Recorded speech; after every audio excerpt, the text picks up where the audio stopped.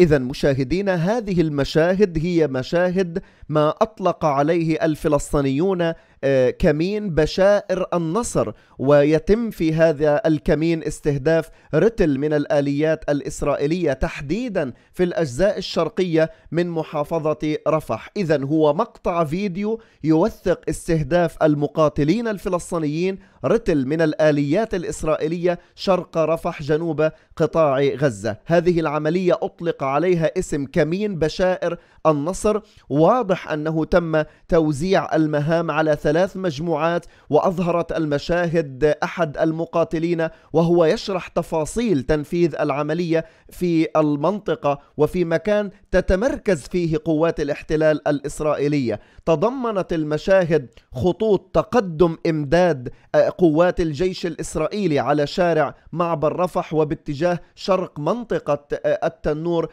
أظهر هذا المقطع عملية رصد الآليات الإسرائيلية لمنطقة الكمين وأيضا أظهر استهداف دبابة من نوع ميركافا وتضمنت المشاهد أيضا استهداف جرافة بشكل مباشر. وبالتأكيد مشاهدينا الكرام أظهر المقطع قيام جيش الاحتلال الإسرائيلي كما هو واضح بإجلاء جنوده من المنطقة المستهدفة. كانت الفصائل الفلسطينية والمقاتلين الفلسطينيين أعلنوا عن إيقاع آليات عسكرية إسرائيلية في كمين محكم معد مسبقا في شرق رفح. نتحدث في هذه العملية عن استهداف دبابة مركبة وثلاث جرافات عسكرية ونتحدث أيضا عن دبابتين من نوع مركبة أثناء مرورهما على مفترق جورج الشرقي بمدينة رفح وتمت إصابة هذه الآليات بشكل مباشر. الذي يلفت الانتباه أن هذه العملية تأتي رغم مرور أكثر أو قريب العام على التصعيد العسكري في قطاع غزة ولا يزال الجيش الإسرائيلي يتعرض لخسائر كبيرة وغير متوقعة في الميدان. هذه العملية تأتي رغم تصريحات رئيس الوزراء بنيامين نتنياهو بأن المعركة قد حسمت لصالح إسرائيل وقد ركز على رفح وذكر أنه تم تطهير رفح لكن هذه المشاهد والوقائع على الأرض تظهر أن الجيش الإسرائيلي يواجه تحديات متزايدة ويؤكد هذا أن المقاتل الفلسطيني يستمر في تطوير استراتيجيات قتالية وتنفيذ عمليات معقدة ضد قوات الاحتلال الإسرائيلي. إحدى أبرز الظواهر التي برزت خلال هذه الحرب هي الكمائن المعقدة التي تنصبها الفصائل الفلسطينية. هذه الكمائن ليست مجرد استراتيجيات قديمة بل أصبحت اليوم أكثر تطورا وفعالية بفضل الابتكار المستمر في استخدام الموارد المحدودة داخل غزة. وقد تمكنت الفصائل من إعادة تدوير مخلفات الاحتلال وتحويلها إلى أدوات فعالة لشن مثل هذه الهجمات المعقدة ضد الجنود الإسرائيليين. هذه هذه الكمائن وهذا الكمين استهدف جرافات إسرائيلية ودبابات إسرائيلية وبالتأكيد آه، أتى بنتائج صادمة على الإسرائيليين. رغم أن الجيش يعتمد على تفوق تكنولوجي طائرات الاستطلاع موجودة في الميدان وأصواتها تسمع وهو يريد أن يتحدث عن التفوق في ساحة المعركة. لكن هذه العمليات والمشاهد كما يقول المراقبين التي تنفذها الفصائل الفلسطينية تثبت اليوم قدرتهم على مواجهة الإسرائيليين في محاور التقدم والاستفادة من المخلفات الحربية وتحويلها إلى أدوات هجومية وهذا ما يؤثر على الجيش الإسرائيلي بشكل آه، آه، مباشر وهذا يعمل على إنهاك القوات الإسرائيلية. هذه العمليات المتكررة وهذا الكمين كمين بشائر النصر والذي والذي تم فيه استهداف هذه الآليات الإسرائيلية بهذه الطريقة التي رأيناها تؤدي إلى استنزاف قدرات الجيش الإسرائيلي على المدى الطويل ويصبح الحفاظ على الروح المعنوية للجنود تحديا كبيرا. وهذه العمليات تفاجئ الجيش وتجعله في موقف دفاعي رغم ادعائه بأنه المسيطر على الأرض.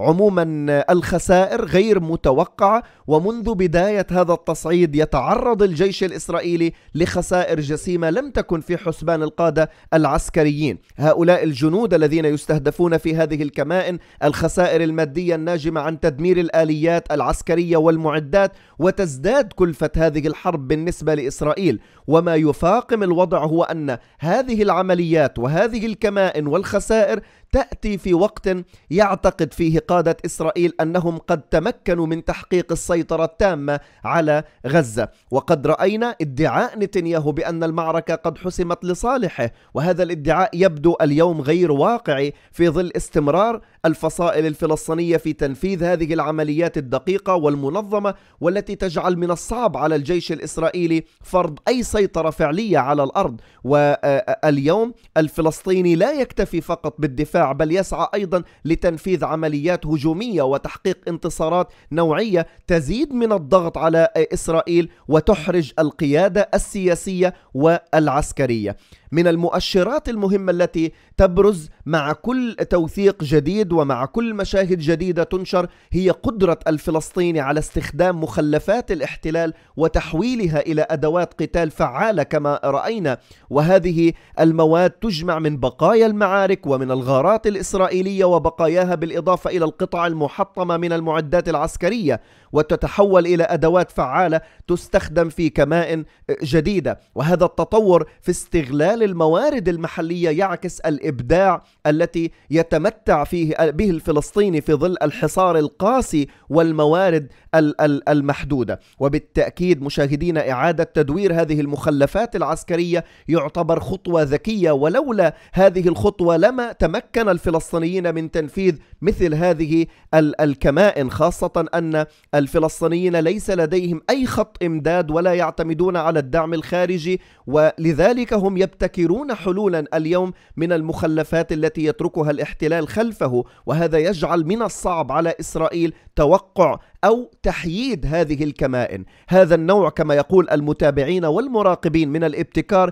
يعزز من صمود الفلسطينيين في آه، ظل المشهد الحالي. الخسائر التي تتكبدها إسرائيل في هذه الحرب سواء كانت بشرية أو مادية تعكس كما تقول وسائل الإعلام الإسرائيلية فشلا أوسع في تحقيق الأهداف المعلنة من قبل نتنياهو.